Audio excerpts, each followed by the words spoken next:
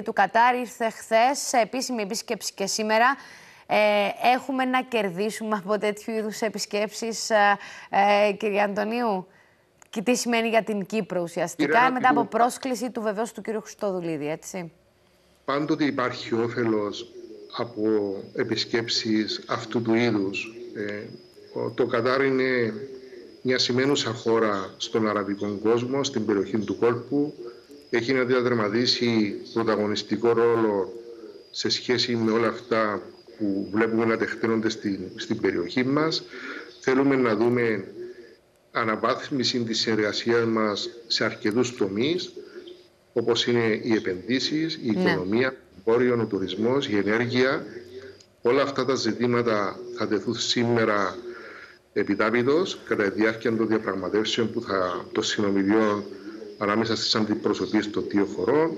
Ο Εμμύρης του Κατάρ συνοδεύεται από πέντε υπουργούς και άλλους αξιωματούχους του Εμμυράτου και ο πρόεδρος της Δημοκρατίας περιστοιχίζεται από τους συναρμόδιους υπουργούς γύρω από αυτά τα ζητήματα που σας είπα, ενέργεια, ε, τουρισμό, ε, οικονομία, ε, ζητήματα ε, ευρωπαϊκών θεμάτων κλπ.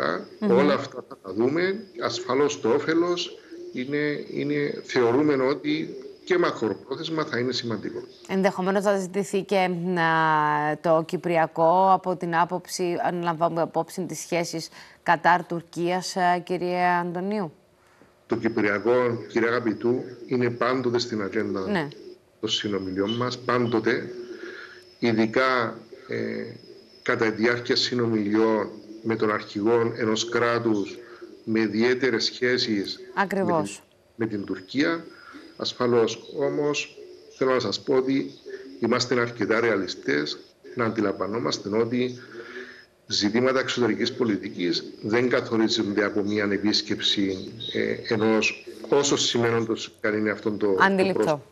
Όμως η απάντηση μας είναι καταφατική. Το Κυπριακό θα αποτελέσει μέρος του συνομιλίου, βεβαίως. Ευχαριστώ πάρα μα πάρα πολύ, κυρία Αντωνίου. Να, να είστε καλά.